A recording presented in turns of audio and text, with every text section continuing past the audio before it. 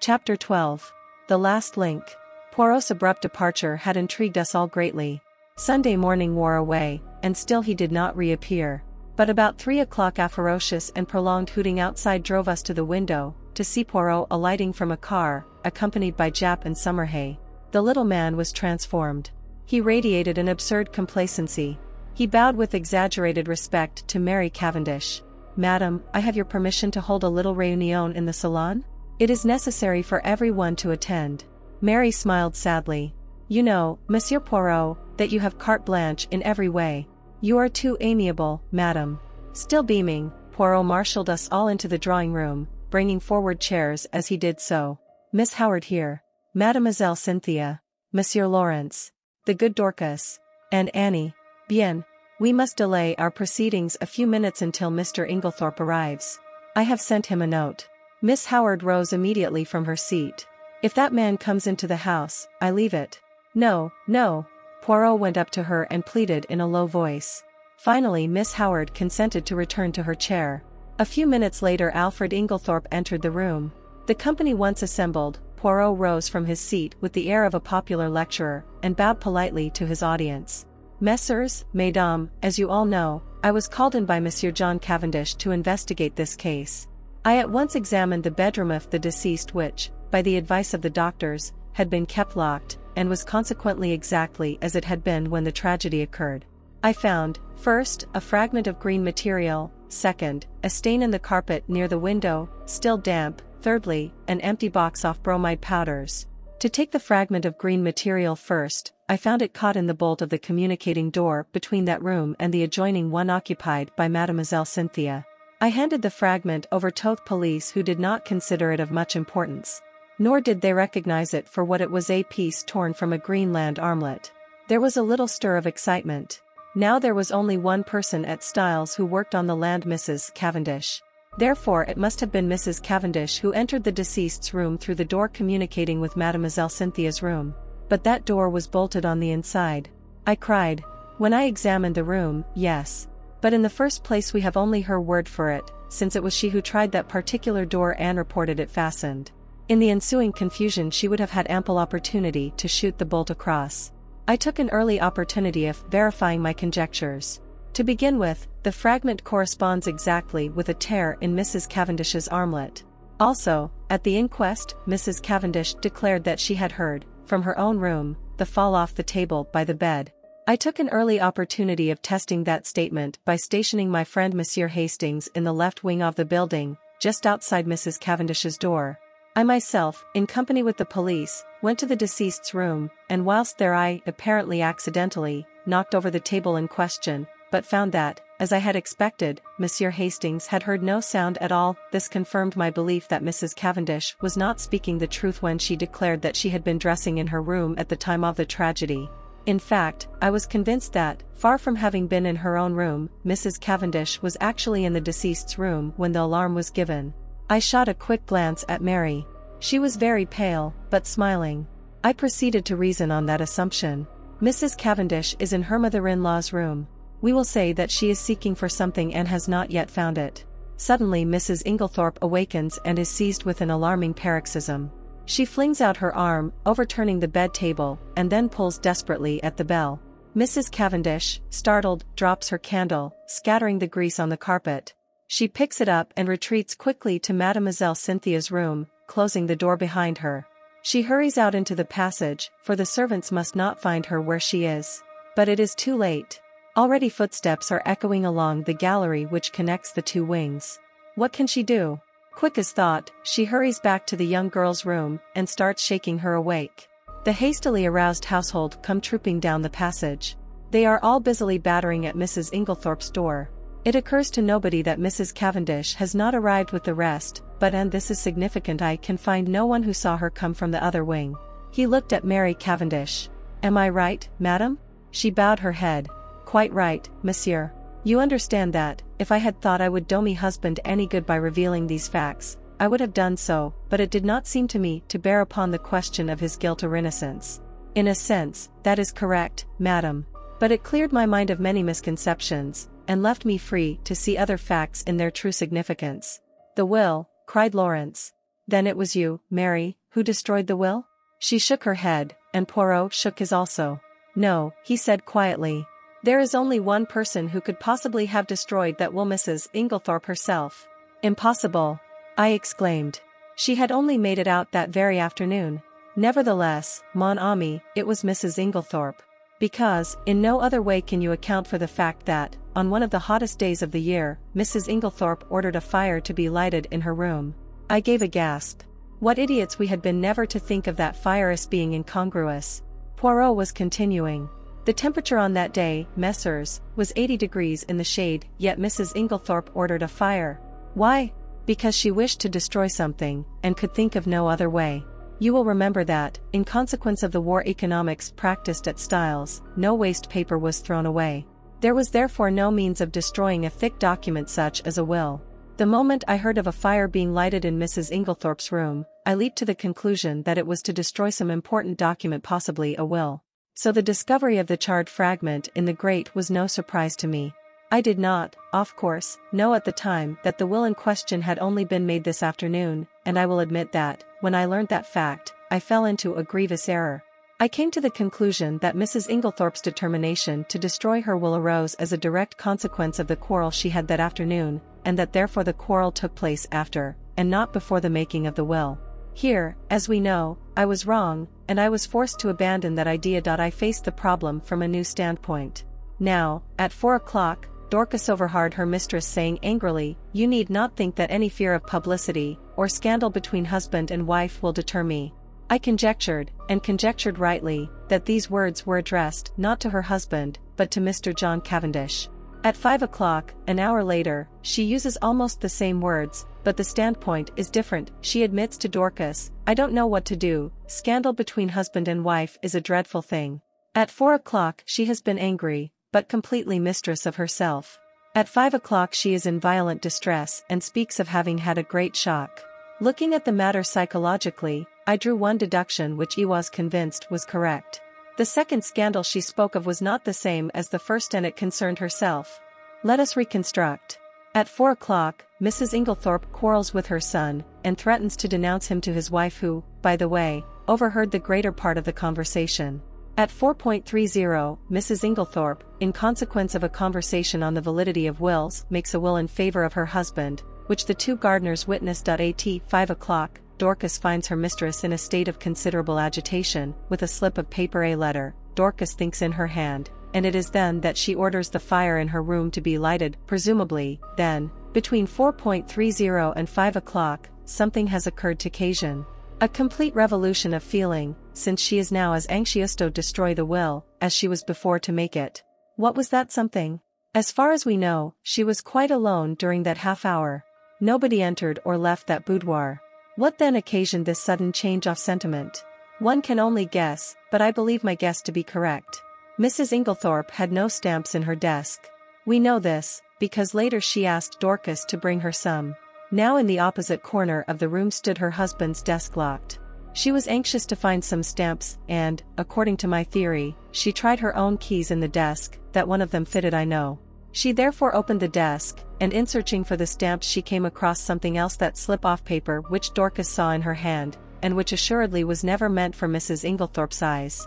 On the other hand, Mrs. Cavendish believed that the slip of paper to which her mother-in-law clung so tenaciously was a written proof of her own husband's infidelity.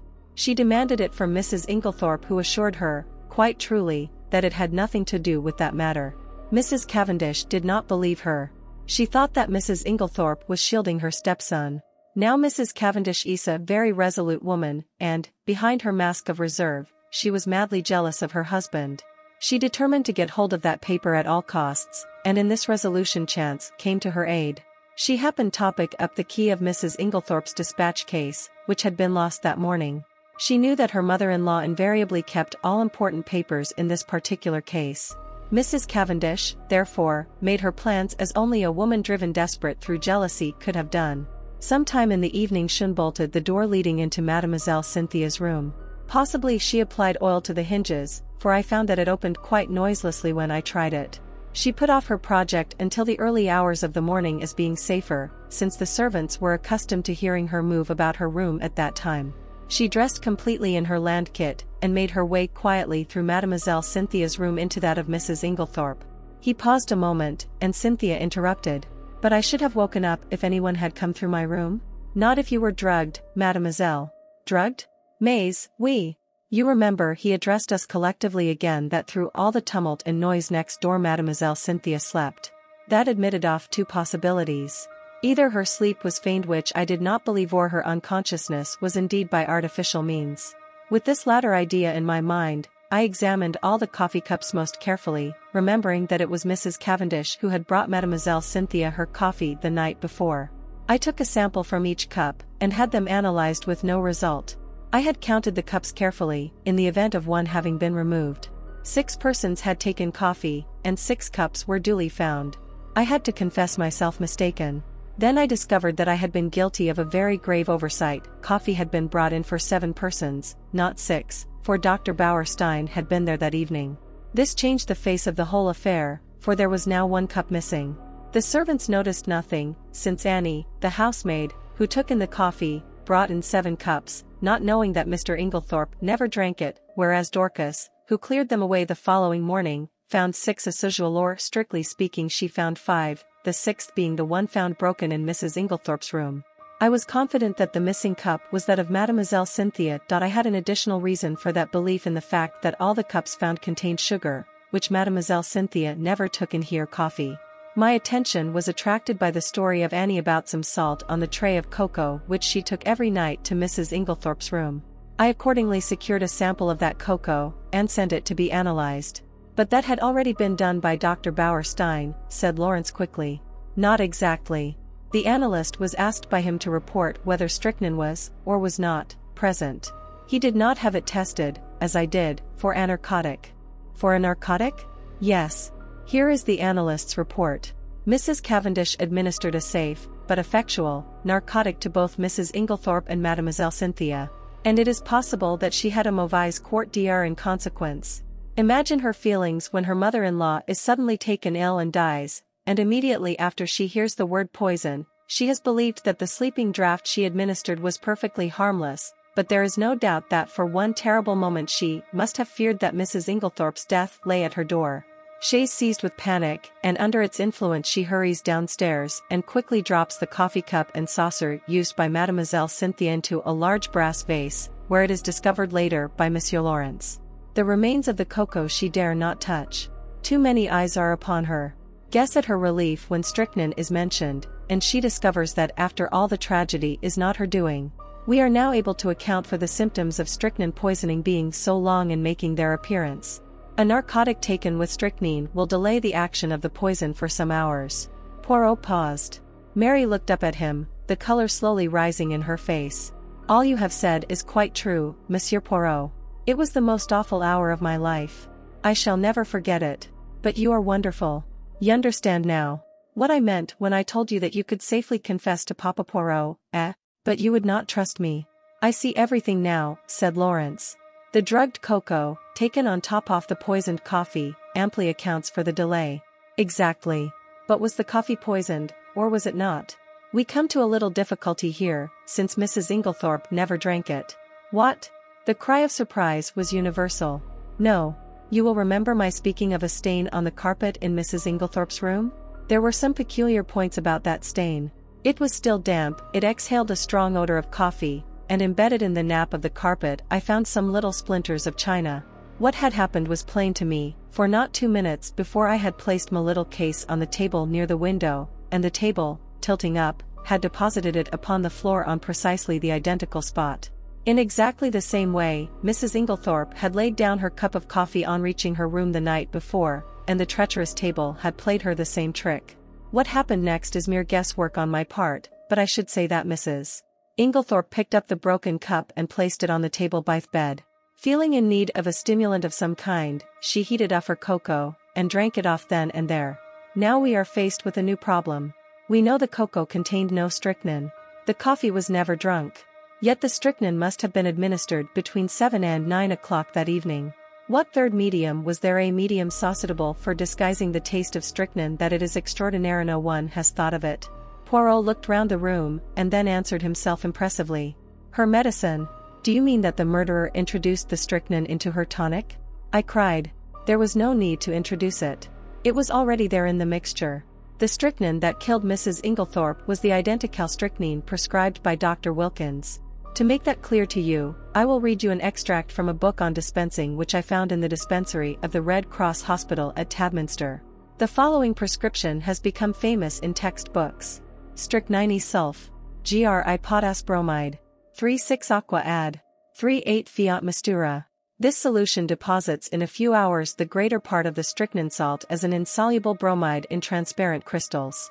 A lady in England lost her life by taking a similar mixture, the precipitated strychnine collected at the bottom, and in taking the last dose she swallowed nearly all of it. Now there was, of course, no bromide in Dr. Wilkins' prescription, but you will. Remember that I mentioned an empty box of bromide powders. Point one or two of those powders introduced into the full bottle of medicine would effectually precipitate the strychnine, as the book describes, and cause it to be taken in the last dose. You will learn later that the person who usually poured out Mrs. Inglethorpe's medicine was always extremely careful not to shake the bottle, but to leave the sediment at the bottom of it undisturbed. Throughout the case, there have been evidences that the tragedy was intended to take place on Monday evening. On that day, Mrs. Inglethorpe's bell wire was neatly cut, and on Monday evening Mademoiselle Cynthia was spending the night with friends, so that Mrs. Inglethorpe would have been quite alone in the right wing, completely shut off from help of any kind, and would have died, in all probability, before medical aid could have been summoned. But in her hurry to be in time for the village entertainment Mrs. Inglethorpe forgot to take her medicine, and the next day she lunched away from home, so that the last and fatal dose was actually taken 24 hours later than had been anticipated by the murderer, and it is owing to that delay that the final proof the last link of the chain is now in my hands. Amid breathless excitement, he held out three thin strips of paper. A letter in the murderer's own handwriting, M.E.S. Amos, had it been a little clearer in its terms, it is possible that Mrs. Inglethorpe, warned in time, would have escaped. As it was, she realized her danger, but not the manner of it. In the deathly silence, Poirot pieced together the slips of paper and, clearing his throat, read. Dearest Evelyn, you will be anxious at hearing nothing.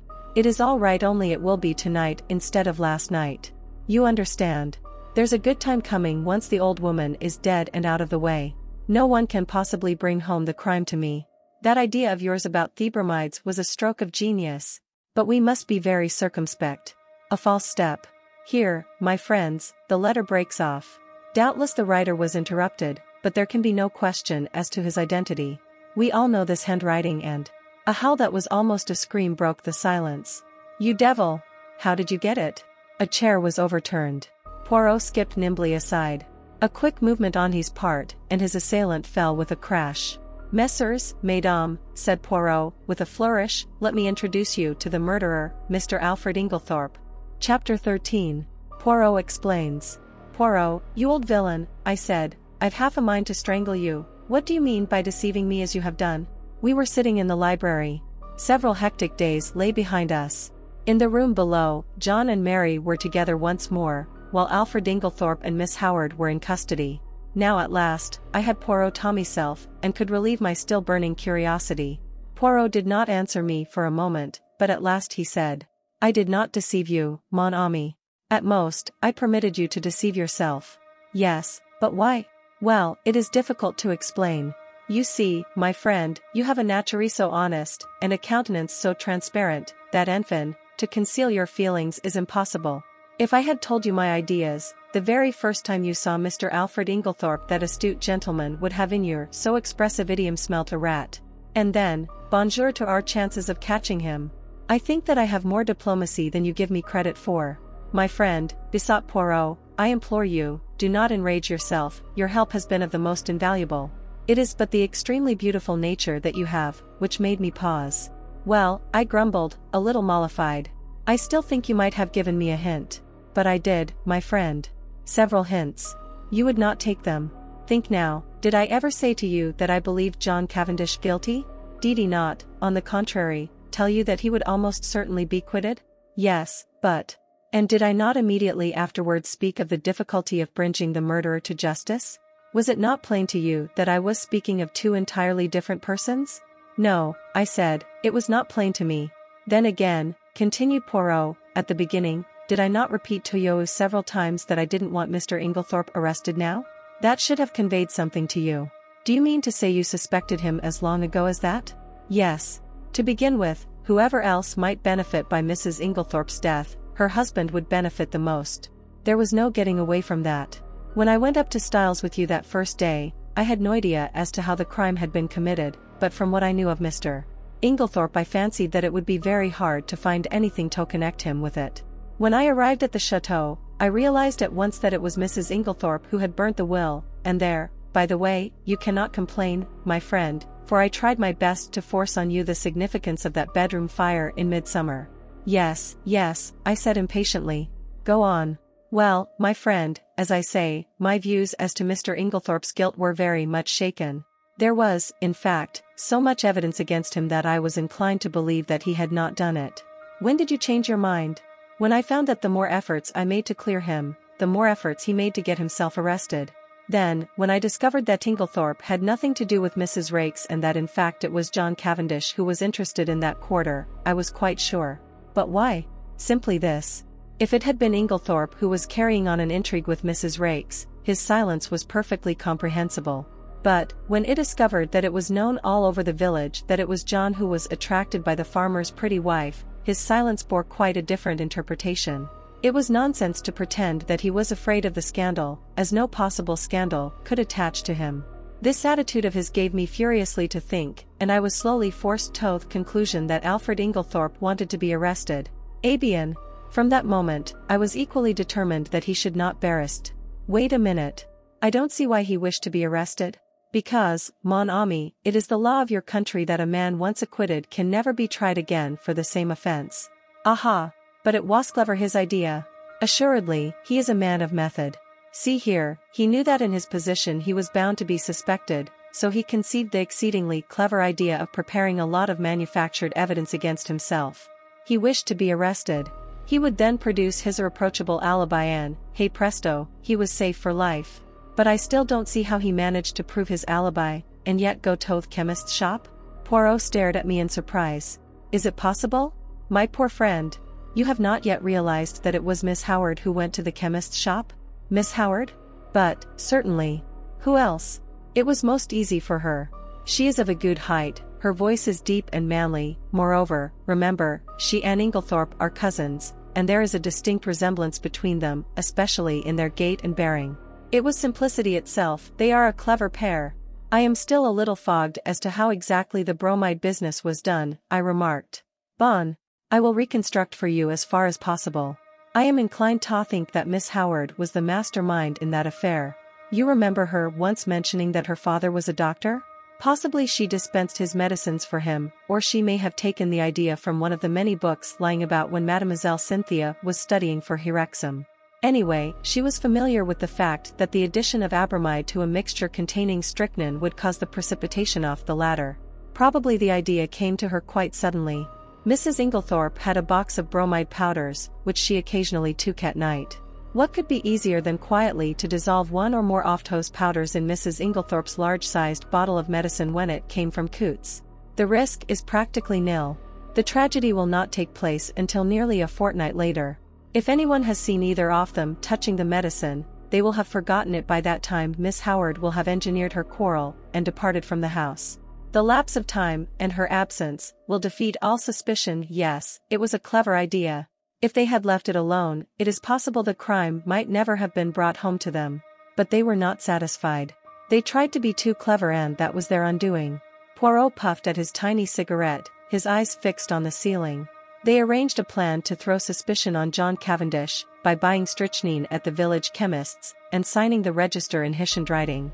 On Monday Mrs. Inglethorpe will take the last dose of her medicine. On Monday, therefore, at 6 o'clock, Alfred Inglethorpe arranges to be seen by a number of people at a spot far removed from the village. Miss Howard has previously made up a cock and bull story about him and Mrs. Raikes to account for his holding his tongue afterwards.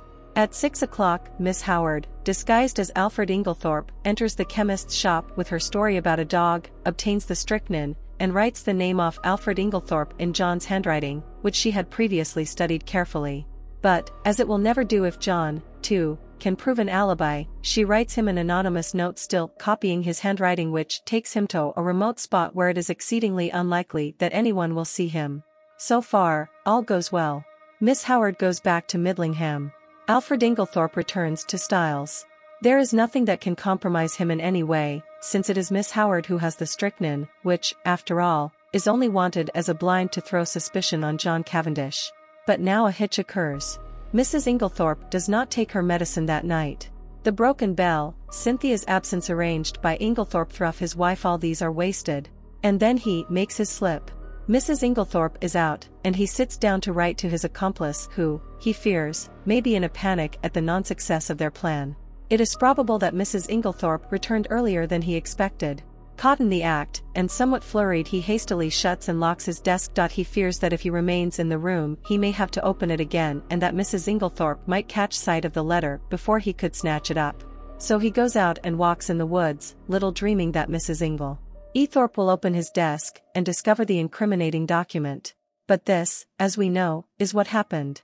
Mrs. Inglethorpe reads it and becomes aware of the perfidy of her husband and Evelyn Howard, though, unfortunately, the sentence about the bromides conveys no warning to her mind.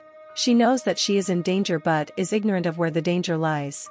She decides to say nothing to her husband, but sits down and writes to her solicitor, asking him to come on the morrow, and she also determines to destroy immediately the will which she has just made, she keeps the fatal letter. It was to discover that letter, then, that her husband forced the lock off the dispatch case? Yes, and from the enormous risk he ran we can see how fully he realized its importance. That letter accepted, there was absolutely nothing to connect him with the crime. There's only one thing I can't make out, why didn't he destroy it at once when he got hold of it? Because he did not dare take the biggest risk of all that of keeping it on his own person. I don't understand. Look at it from his point of view. I have discovered that there were only five short minutes in which he could have taken it the five minutes immediately before our own arrival on the scene, for before that time Annie was brushing the stairs, and would have seen anyone who passed going to the right wing. Figure to yourself the scene.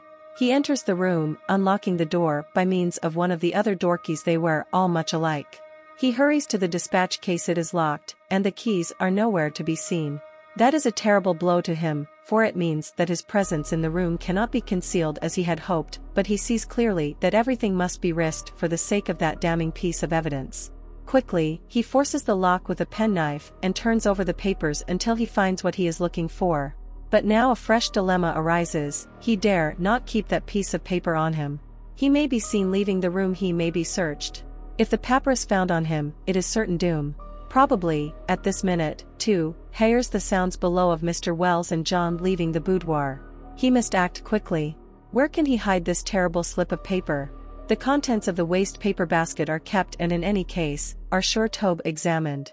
There are no means of destroying it, and he dare not keep it. He looks round, and he sees what do you think, mon ami? I shook my head. In a moment, he has torn the letter into long thin strips, and rolling them up into spills he thrusts them hurriedly in amongst the other spills in the vase on the mantelpiece. I uttered an exclamation. No one would think of looking there, Poirot continued. And he will be able, at his leisure, to come back and destroy this solitary piece of evidence against him. Then, all the time, it was in the spill vase in Mrs. Inglethorpe's bedroom, under our very noses? I cried. Poirot nodded. Yes, my friend. That is where I discovered my last link, and I owe that very fortunate discovery to you. To me? Yes. Do you remember telling me that my hand shook as I was straightening the ornaments on the mantelpiece? Yes, but I don't see. No, but I saw.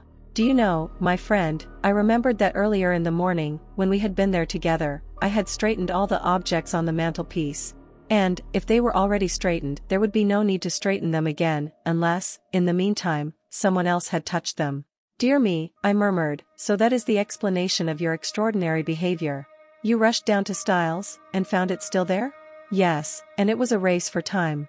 But I still can't understand why Inglethorpe was such a fool as to leave it there when he had plenty of opportunity to destroy it. Ah, but he had no opportunity. I saw to that. You? Yes. Do you remember reproving me for taking the household into my confidence on the subject? Yes. Well, my friend, I saw there was just one chance. I was not sure that Eve Inglethorpe was the criminal or not, but if he was I reasoned that he would not have the paper on him, but would have hidden it somewhere, and by enlisting the sympathy of the household I could effectually prevent his destroying it. He was already under suspicion, and by making the matter public I secured the services of about 10 amateur detectives who would be watching him unceasingly, and being himself aware of their watchfulness he would not dare seek further to destroy the document. He was therefore forced to depart from the house, leaving it in the spill vase.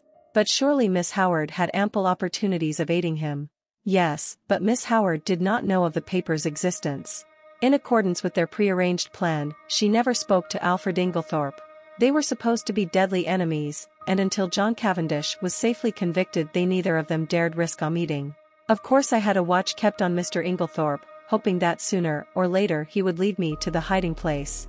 But he was too clever to take any chances. The paper was safe where it was, since Noon had thought of looking there in the first week, it was not likely they would do so afterwards. But for your lucky remark, we might never have been able to bring him to justice.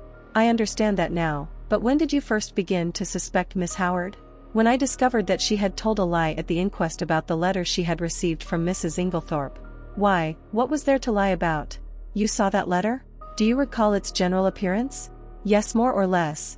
You will recollect, then, that Mrs. Inglethorpe wrote a very distinctive hand, and left large clear spaces between her words. But if you look at date at the top of the letter you will notice that July 17th is quite different in this respect. Do you see what I mean? No, I confessed, I don't. You do not see that that letter was not written on the 17th, but on the 17th the day after Miss Howard's departure? The one was written in before the 7 to turn it into the 17th dot. But why? That is exactly what I asked myself. Why does Miss Howard suppress the letter written on the 17th, and produce this faked one instead? Because she did not wish to show the letter of the 17th. Why, again? And at once a suspicion dawned in my mind. You will remember my saying that it was wise to beware of people who were not telling you the truth. And yet, I cried indignantly, after that, you gave me two reasons why Miss Howard could not have committed the crime. And very good reasons too, replied Poirot. For a long time they were a stumbling block to me until I remembered a very significant fact, that she and Alfred Inglethorpe were cousins. She could not have committed the crime single-handed, but the reasons against that did not debar her from being an accomplice. And, then, there was that rather over-vehement method of hers. It concealed a very opposite emotion. There was, undoubtedly, a tie of passion between them long before he came to Styles. They had already arranged their infamous plot that he should marry this rich, but rather foolish old lady, induce her to make a will leaving her money to him, and then gain their ends by a very cleverly conceived crime. If all had gone as they planned, they would probably have left England, and lived together on their poor victim's money. They are a very astute and unscrupulous pair. While suspicion was to be directed against him, she would be making quiet preparations for Avery different denouement. She arrives from Middlingham with all the compromising items in her possession. No suspicion attaches to her. No notice is paid to her coming and going in the house. She hides the strychnine and glasses in John's room. She puts the beard in the attic, she will see to it that sooner or later they are duly discovered. I don't quite see why they tried to fix the blame on John, I remarked. It would have been much easier for them to bring the crime home to Lawrence. Yes, but that was mere chance. All the evidence against him arose out of pure accident. It must, I, in fact, have been distinctly annoying to the pair of schemers. His manner was unfortunate, I observed thoughtfully. Yes. You realize, of course, what was at the back of that? No. You did not understand that he believed Mademoiselle Cynthia guilty of the crime? No, I exclaimed, astonished. Impossible. Not at all. I myself nearly had the same idea. It was in my mind when I asked Mr. Wells that first question about the will. Then there were the bromide powders which she had made up, and her clever Maley impersonations, as Dorcas recounted them to us. There was really more evidence against her than anyone else. You are joking, Poirot. No. Shall I tell you what made Monsieur Lawrence turn so pale when first entered his mother's room on the fatal night? It was because, whilst his mother lay there, obviously poisoned, he saw, over your shoulder, that the door into Mademoiselle Cynthia's room was unbolted. But he declared that he saw it bolted. I cried. Exactly, said Poirot dryly. And that was just what confirmed my suspicion that it was not. He was shielding Mademoiselle Cynthia. But why should he shield her? Because he is in love with her. I laughed. There, Poirot, you are quite wrong. I happen to know for a fact that, far from being in love with her, he positively dislikes her. Who told you that, mon ami? Cynthia herself. La pauvre petite. And she was concerned? She said that she did not mind at all. Then she certainly did mind very much, remarked Poirot. They are like that les femmes. What you say about Lawrence is a great surprise to me, I said. But why? It was most obvious. Did not Monsieur Lawrence make the sour face every time Mademoiselle Cynthia spoke and laughed with his brother? He had taken it into his long head that Mademoiselle Cynthia was in love with Monsieur John. When he entered his mother's room and saw her obviously poisoned, he jumped to the conclusion that Mademoiselle Cynthia knew something about the matter. He was nearly driven desperate, first he crushed the coffee cup to powder under his feet, remembering that she had gone up with his mother the night before, and had determined that there should be no chance of testing its contents, thenceforward, he strenuously, and quite uselessly, upheld the theory of death from natural causes. And what about the extra coffee cup? I was fairly certain that it was Mrs. Cavendish who had hidden it, Booty had to make sure. Monsieur Lawrence did not know at all what I meant, but, on reflection, he came to the conclusion that if he could find an extra coffee cup anywhere his lady love would be cleared of suspicion, and he was perfectly right. One thing more. What did Mrs. Inglethorpe mean by her dying words? They were, of course, an accusation against her husband. Dear me, Poirot, I said with a sigh, I think you have explained everything. I am glad it has all ended so happily. Even John and his wife are reconciled. Thanks to me. How do you mean thanks to you? My dear friend, do you not realize that it was simply and solely the trial which has brought them together again? That John Cavendish still loved his wife, I was convinced. Also, that she was equally in love with him. But they had drifted very far apart. It all arose from a misunderstanding. She married him without love. He knew it. He is a sensitive man in his way, he would not force himself upon her if she did not want him. And, as he withdrew, her love awoke. But they are both unusually proud, and their pride held them inexorably apart. He drifted into an entanglement with Mrs. Raikes, and she deliberately cultivated the friendship of Dr. Bauerstein. Do you remember the day of John Cavendish's arrest, when you found me deliberating over a big decision? Yes, I quite understood your distress. Pardon me, mon ami, but you did not understand it in the least. I was trying to decide whether or not I would clear John Cavendish at once. I could have cleared him though it might have meant a failure to convict the real criminals. They were entirely in the dark as to my real attitude up to the very last moment which partly accounts for my success. Do you mean that you could have saved John Cavendish from being brought to trial? Yes, my friend. But I eventually decided in favor of a woman's happiness. Nothing but the great danger through which they have passed could have brought these two proud souls together again. I looked at Poirot in silent amazement. The colossal cheek of the little man. Who on earth but Poirot would have thought of a trial for murder as a restorer of conjugal happiness? I perceive your thoughts, mon ami, said Poirot, smiling at me. Noon but Hercule Poirot would have attempted such a thing. And you are wrong in condemning it. The happiness of one man and one woman is the greatest thing in all the world. His words took me back to earlier events. I remembered Mary as she lay white and exhausted on the sofa, listening, listening. There had come the sound of the bell below. She had started up. Poirot had opened the door, and meeting her agonized eyes had nodded gently. Yes, madam, he said. I have brought him back to you. He had stood aside, and ACI went out I had seen the look in Mary's eyes, as John Cavendish had caught his wife in his arms. Perhaps you are right, Poirot, I said gently. Yes, it is the greatest thing in the world. Suddenly, there was a tap at the door, and Cynthia peeped in. I I only. Come in, I said, springing up. She came in, but did not sit down. I only wanted to tell you something. Yes? Cynthia fidgeted with a little tassel for some moments, then, suddenly exclaiming, You dears, kissed first me and then Poirot, and rushed out of the room again. What on earth does this mean? I asked, surprised. It was very nice to be kissed by Cynthia, but the publicity of the salute rather impaired the pleasure. It means that she has discovered Monsieur Lawrence does not dislike Eros much as she thought, replied Poirot philosophically. But, here he is. Lawrence at that moment passed the door. Eh, Monsieur Lawrence, called Poirot. We must congratulate you, is it not so? Lawrence blushed, and then smiled awkwardly. A man in love is a sorry spectacle. Now Cynthia had looked charming. I sighed. What is it, mon ami? Nothing, I said sadly. They are two delightful women. And neither of them is for you, finished Poirot. Never mind, console yourself, my friend. We may hunt together again, who knows? And then, the end.